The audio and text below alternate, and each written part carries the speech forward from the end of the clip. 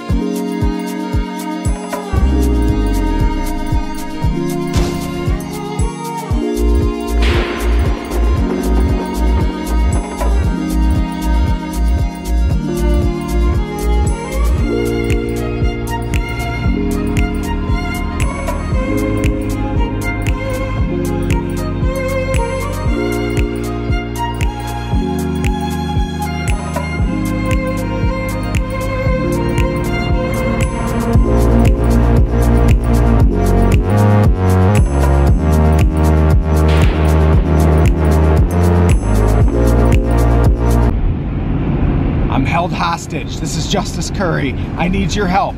There's a phone number in the description. Call that number. Contact Detective Ellison. She'll know what to do.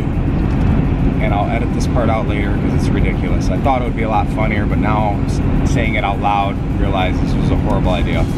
But I'm in a car with my best friend for life, Travis Bowles. How you doing, Travis? Doing good. Awesome. Travis and I are headed to Canada. Yes, to the Canadian people. Travis and I found the monster pick. These are things as toy collectors and as toy flippers to finance our collectors, our, our own hobby that we dream about, that we fantasize about. It is how many, how long away, how far away is this? Uh, 12 hours. 12 hours. We are driving 12 hours. It's craziness. And, and Travis, uh, a couple days ago, reached out to me. He's like, hey, we're canceling this whole thing. I just MapQuested it. Because he, he's an old man, he still uses Map, MapQuest. Um, it is 19 hours. He plugged it in wrong and thought it was a 19 hour trip instead of 12 hour trip. And he's like, this is over. We're done. And I was like, no, my dreams. But we are gonna get some fantastic toys. You guys are gonna love it. Some super gems of Star Wars, G.I. Joes, and uh, He-Man. So the, the three food groups. Oh, and the fourth food group, Sideshow Hot Toys. Um, so you're looking forward to this. I won't talk to you too much, Travis, because I want you to safely get us there. Um, we just left or got through Detroit. We're gonna stay at uh, my old man's house, and I'll keep you posted. Maybe we'll take some video when we cross over the Blue Water Bridge. That'd be cool. All right, cool. All right, this is Justice Cury and Travis Bowles signing out. oh my gosh. All right, this is my videographer, by the way. so if it's all shaky, you can blame it. Okay. But yeah, but- And we're recorded. all right, cool. Hey guys, Justice Cury. I have an amazing adventure you're about to go on with me. I've been hinting at it when we went over the Blue Water Bridge into Canada. Behind me is an epic collection once we start going into it a little bit. But first, I want to introduce the, I'm gonna call him the host. This is Jean-Claude Van Damme. How you doing, Jean? Thank you. I'm not Belgian. Not Belgian, that's right. Thank you so very much for inviting Travis and I into your wonderful collection room. Um, I mean, I have goosebumps right now. We've only been here for a few minutes. Uh, we drove 13 hours plus uh, to this wonderful location, and and why I'm so excited is your tastes are exactly what my tastes are. Star Wars, got it. Yeah, a lot. He-Man, Got it. got it. Yeah. Uh, G.I. Joe. I do. So, case closed. He's the awesomest person in the whole wide world. And Thank plus, Legos. Yeah. And not just any Legos, epic Legos. So let's just kind of pan through a little bit. Um, come over here, Mr. Videographer. uh, we have some wonderful Mattel Matty Classics Um, how long have you been collecting, Jean? Only And you can just pan while we're only five years, but Oh. it's been intense. Oh my gosh! Yeah, yes, I've been it is. I've been grabbing both uh, vintage and modern stuff from uh, all three lines. Yep. And uh, yeah, I have, as you can see, loose stuff, box stuff, and these guys will be taking away about 80 85% of my whole collection. Oh yeah, that's what I love to hear. And Jean reached out to me, uh, you know, months ago, and and we talked about it. And he's just, you know, just like all collectors go through different phases and seasons in life, and and toning down. And um, you know, it's it's been a pleasure talking with you over this time. And and I've never talked with someone with English as their second language. So you Really? Yes, this is the first time, and you speak We are- flawless. we are millions. Millions! You're millions strong. Um, can you tell me uh, a little bit about the Lego sets that you have up there? Uh, yeah, these Lego sets, I like the big Lego sets because I like the time it takes to build them. I have an uh, Apollo 5 uh, rocket in the back up left. Nice. There's this the Death Star, the latest edition of the Death Star. Yep. Uh, pan a little right, you have a sla- an Ultimate uh, Collector Series uh, Slave One. You have Saruman's Tower right there. Or think, I think I'll keep Darth Vader's castle. Yeah, no doubt. it- it's rad. Yes. The Sea Cow here, Metalbeard's beloved ship in the I Lego am movie. so excited about this. Yeah. That's staying. Yeah, and uh, a lot of ja- of Joes here. Uh, the loose Joes are really clean because I've been crazy enough to buy them boxed and yeah, pan build them. Jean. I, I gotta, I gotta hear this again. So right when I got here, I went. Your boxed or not boxed GI Joe, your loose GI Joe vehicles are the cleanest I've ever seen. I've never. It's like someone took Armor All and put a shine to them. And he explained to me that it, it's it's as easy as buying them boxed and building them and applying the stickers and just putting them on a shelf so they look fresh as 1985 fresh. So you literally went and opened sealed boxes. I burned hundreds of dollars opening boxes. But you know what? I know I have some butthurt collectors watching this right now. Go, how dare he open this piece of? But it's yours Because Who it's fun. exactly. I, it's fun. I wanted them to open them again. Yes. And build them again. and relive that Yes, scenario. And ultimately, at the end of the day, it's not all about the money sometimes. Nope. It's about the love of the toys. This is, and we all collect differently. You wanted the most pristine uh, examples. And unfortunately, it's almost impossible to find the most pristine, pristine examples unless you open a sealed Yeah, vehicle. And I'm also very impatient, so the, the hassle of of buying separate parts and cleaning this part and you know, I no. Yeah, you're like, I I want to get it in there. I want it perfect. I don't want to be nickel and diamond cleaning pieces. Um, so I'm I'm really excited to see some other stuff. And as we progress and start taking some things out, we'll shoot some more uh, some footage for you guys at home. So thanks again, brother.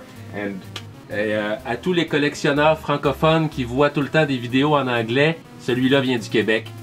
Voilà. and if you know what he just said, put in the comments below and translate that for me. I love you all. Take care. Bye.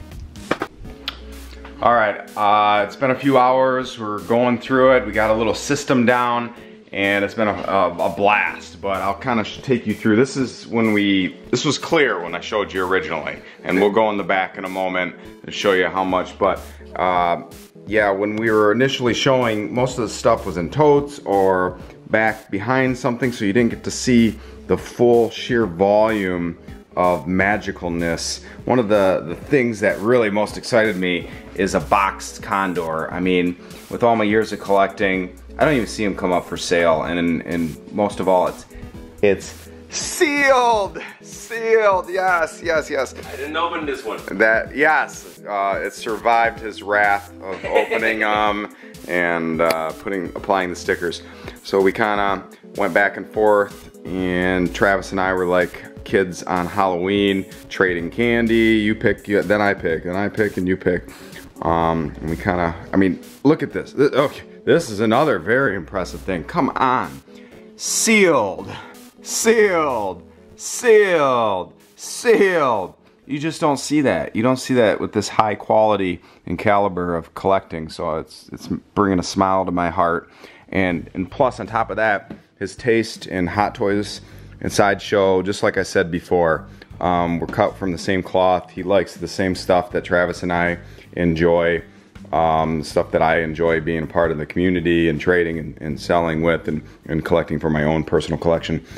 Um, so yeah, how's the how's the process going so far? Is it overwhelming? Is it bittersweet? I mean, it's Well, a little bit of both. as I told you a bit earlier, it's a weird mix of sadness and relief, and yeah, sadness and relief. yeah, It's a weird A mix of, of feelings, but it's Absolutely. okay. I wanted it, yes, so I'm, of I'm, course. I'm living my dream of having my shoulders Yeah. uh, lighter. yeah, this is a lot of stuff. And and what I tell people too sometimes is if they're having like really hard time selling, I'm like, hey, you don't have to, or you can always rebuy it. Like if there's something where you have regret two years from now, like man, I remember I sold that to Justice.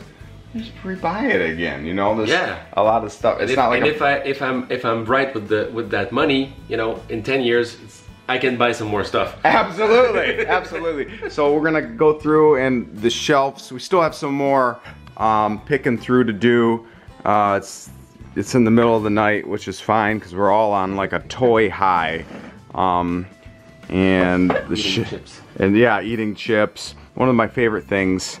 That uh, can you kind of tell the story of this, Jean? Well, from what I've heard, because I'm I'm no expert in, in the subject, but someone found a full uh, uh, full cases uh, of uh, salacious crumbs and hookah pipes. Right. Parts that were supposed to go in that box there, but somehow I don't know they made extra. Yeah. So someone bought a lot of them. Vintage. You're not. This is not no, this is modern. Vintage. 83. Right. And they created this kind of convenience store counter display box and it just looks great. It's a mix of of of modern and vintage and meta humor and Yes, yes, just nice. exactly, exactly. So that that was really fun for me to see, and and because I haven't seen it before. maybe I'll sell it. he doesn't know yet. Yes. Oh my gosh, what am I gonna do with all this stuff? Is the problem? Because when I have to bring in new stuff, then I have to get rid of old stuff, and it's creeping out of my my display room into the other parts of my living space. So I'm gonna have to talk to talk to my wife. And, Unfortunately, you can't dehydrate plastic. yes. You can't do that. No. It just takes the same amount of space or you exactly. have We can't shrink it. to Yeah, or you have to burn it and it will no. Blasphemy! We can't no. burn it. Yes. Um, and we still have some time uh, to go through, and we got a price, not price, but uh, go through with the Lego sets and whatnot. Um, but many of these will be coming home with me as well. Uh, one person that has been a silent majority over here, Travis. How's everything Silent going? Bob. Silent Bob. That's right. I'm terrified of totaling up the price. Yes, you and me both, man. You and me both. Um, Four. yes, this whole thing is 100. All right, I'm kidding. But uh, we'll come back. We'll talk at the end. Three, four, five, six. We got business to do. Love you all. Bye. Eight. All right, following the life of the toy addict, moving his plastic wares from point A to point B. Luckily- Got my crusty, trusty Crocs. Yes, with this Crocs on. So we're gonna fill this sucker up. Um, we just completed the deal. Jean was gracious to give us a wonderful deal. Um, I'll kind of show you. We brought the stuff for sale um, upstairs already. So here's some of Travis's stuff up here in the front. I know most of it's in totes, so it's not too exciting, but you'll notice some gems that aren't in totes. And then my stuff, uh, tons of Lego sets, vintage MOTU, which I'm super excited about. Um, yeah, that Condor, um, you don't see that at all, so that is super, super, super awesome. Sealed Rancor Monster, some classic things that I'm digging, and then just boxes and boxes of treasure, treasure. Um, so yeah, I'll show you a little bit how we cleaned uh, his toy room out, but there's still a lot of stuff he kept as well. You know, we these are a lot of Lego sets that are individually garbage bagged up. And then the man, the myth, the legend, Jean, how are you, good sir? I'm good. I feel like an old man in an old shop. Yes, Ebenezer Scrooge. I'll get your pound of flesh. yes, yes. Um, so yeah, from the last time you guys saw, these shelves were much more populated, but he still has plenty of treasures spread out uh, among these with some of his favorite G.I. Joes and Star Wars, and then hot toys that he's keeping and, and whatnot, and some other miscellaneous toys. Uh, so yep, I'm gonna go back and start helping Travis. Yeah, the, the, the most the most apparent apparent place that he, they emptied is over there. Yeah, that That's was empty. that was stacked to the top with bins, um, which now are going to fill our trailer. So we'll uh, we'll come back with you one more time before we go. All right, see ya. Cool. Well, it's bittersweet, but we got done. We, we packed this sucker full. I'll show you one last thing. Um, but yeah, it's it's certainly been an adventure. 13 hours here, 13 hours back, uh, wheeling and dealing, but it was all definitely worth it. Um, so the man of the hour, thank you so very much. How did it go? very well. This guy is a real pro. By the way, I'm not. I, I'm getting paid to say that, but yeah, the check's in the mail. no. But honestly, he's one of the funniest, nicest, most honest dealers I've met. It's, Yes. it's true. That's from the heart. Thanks, you can man. trust this guy, and uh, yeah, Awesome. I'm happy I met you. Yes, happy to meet you as well, Mr. Claude Van Damme. I'm sure. I'm not Belgium. I'm sure he's I'm never heard that before. Yes. No, never. Um, so we'll we'll take one last little peek in the back. No, we're not going to take one last peek in the back. Maybe He when says no. Silent Bob is safe. maybe when uh, we're unloading, we'll take a peek in the back. You so don't want to show anybody that mess that you just made. it did kind of look pretty bad. I have zero packing skills. So all of us from way on the east side of Canada, we wish you how do you Salut say tout le monde. À la prochaine. Bonne, colle- bonne collection. Salut. what he said. Bye bye. Hey guys, Justice Cury back with you with Travis Bowles. Um, we're headed back to the US of A. Hopefully we make it back in one piece. We've been going over some hypotheticals like what if we the vehicle just blew up, the engine blew up, what would we do? We're so far away from home. We got this you know, gigantic, let's see if you can see it in the rearview mirror, big trailer that we're pulling and all these toys. Praying to God that we don't run into that scenario. Happy thoughts, positive thoughts. But we've been reminiscing about the trip and whatnot, and we've been doing it a number of years.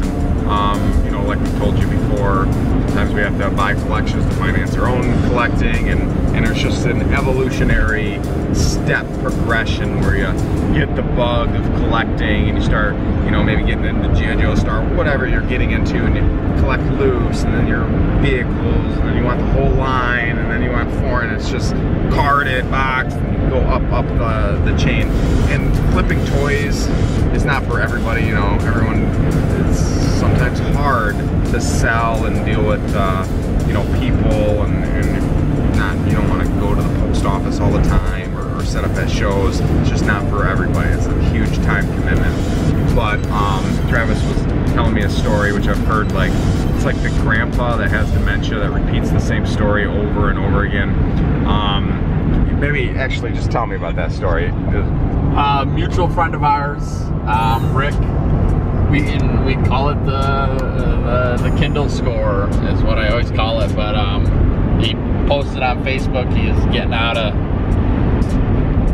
toys pretty much, having a big sale, and um, you know Rick's. You know we both like him, but he's a abrupt dude, and he's Yeah. like, you know, I'm having this going out of business sale. I, actually, I think he called it a getting the F out of business sale or something like that. And he posted on Facebook, and I, and I, he used to sell at shows. He actually put on his own show down in Kalamazoo, I think, or Battle Creek, Battle Creek, I think. And um, I'd seen his stuff. I knew he had good stuff, so I'm like, oh, I'll go to it.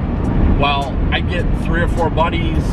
We jump in the car, we go down to it, and he, you know, he was in the comments. He's like, you know, I'm gonna open the storage unit up. I'll pull out an item.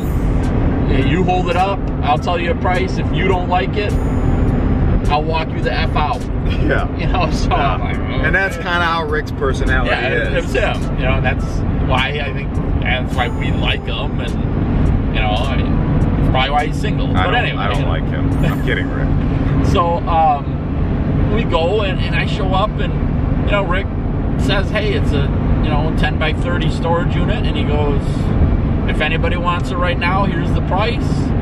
And he set a price, and and you know, I had been doing little small shows, um, Kane County once, which obviously isn't a small show. Yeah, it's huge, beautiful, and, uh, he says this price, and I'm like, what? The? This dude's crazy. Yeah, thousands of dollars. Yeah, thousands of dollars, you know, and um, I'm like, that's it's nuts, you know. And he goes, anybody want it? And it was funny. It was there was six of us there. Yeah, Me, me, my my four buddies, and then Leondis. yeah, yeah. Yeah, yeah, Leon, you know, a, a friend of ours. Yeah. And um, so he opens a storage unit, and it's 10 by 30. And I'm, you know, I'm spatially special, so like when someone says to me 10 by 30, that I means, don't know what that means. Yeah, that means nothing. It could be me. say 180 by 300. I go, I don't know what that means. Can you show me? Right, You know, I need to be so, uh, there, yeah. yeah. So he opens it, and it's a storage unit full from the floor to the ceiling, no aisles of stuff. And he was a vendor. He, was buying a ton of stuff. He had a good job. He had money, you know, and so we go in, we pick it. Um, everybody's pretty happy. You know, I bring my four friends, and they buy stuff. I buy stuff. We all buy stuff. Well, I take that stuff to Kane County two weeks later, and triple my money. Right, it's like boom. Like, I mean, it's everything that I bought in that storage unit sells two weeks later. And I'm like, oh my gosh, what did I do? Right, right. I should have bought everything. And he had the opportunity to buy I, everything. I had the opportunity, you know. I don't know if I had the, you know, but I. So, in looking back, I always say I missed. That's one of those where I. And don't get me wrong, I went back and bought a storage unit. After it was cherry picked. It had been cherry picked three times. And with that being said, it had been cherry picked three times. I still found $500 items in it. Oh my gosh! You know- you're paying, you know, twenty dollars a piece on average or something. Exactly, you know, just some ridiculous number because there was so much stuff in it. I mean, Rick was such a Mattel guy. Yeah. He had, I, I remember I walked out of that with nine Robotos. Mattel Masters Classics. of the Universe. Yeah. Nine uh, MOTU Classic Robotos. Oh You know, and at the time they were selling for like nine dollars. Right. You know, right. there was there was five Battle Cats and eight uh, Swift Winds, and it was just this crazy haul. Yeah. And so now I've learned, you know, and it, and I've had a couple of my good friends that have been doing this for a while and not quite in toys. Yep. Um, Gary Jasic being one of them. He's an art guy, comics, and he told me. Signatures. and Oh stuff, yeah. And, and he told me he goes, situations are going to happen. These opportunities are going to rise. Yep. You're not going to be in the position to do it. Financially. You just have to find a way. Yep. Or you get, and, and the reason I tease Travis about hearing the story so many times is because it does bug him a little bit. Like, man, I had the opportunity to buy that whole thing before it got cherry picked, and you know, turn. I'm just without telling exact numbers. I'm just guessing five thousand into, you know, 50,000, like a crazy flip number. Um, and it's, a, like I said, a progression of collecting. And if you're thinking of getting into selling, it's a progression of selling too. Um, you know, it's if if Travis and I did this when we were kind of novice collectors or, or buying and selling, this would have been overwhelming. It would have taken days and we would have not known or, or it, it would have just couldn't have done it. Couldn't have done it. But as you keep going up the chain, it's fine. If that's not your thing, you don't want to. But that's what we like to do, and that's why we're so compatible together. And um, yeah, it's, it's the the progression of collecting. That is all.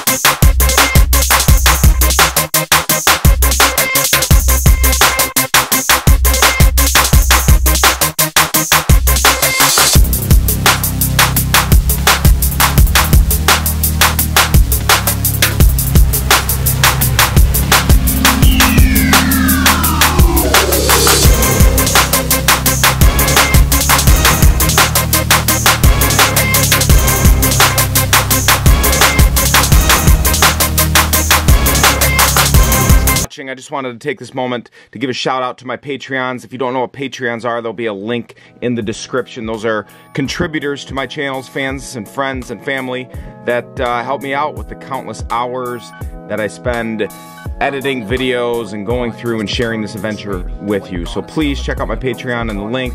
And if you can spare a few bucks, I would greatly appreciate it. But I wanted to give a shout out to Chuck Templeton, Kevin Schruffer, I cannot pronounce your name, Russell Davis, Jamie God Gadiz.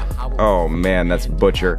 These are probably going to be ex Patreons as I butcher their names. Corey Lang, David McMullen, Ari Partnan, Jowo. Oh man, I'm sorry, buddy, and you're my friend. Albino, Patrio, Evo, and my wife is gonna kill me podcast. Love you all. Keep on collecting. Take care. Bye.